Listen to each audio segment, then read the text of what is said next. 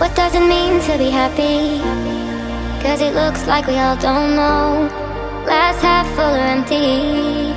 Man, we just putting on a show. Try to look to the heavens to tell us things that we better.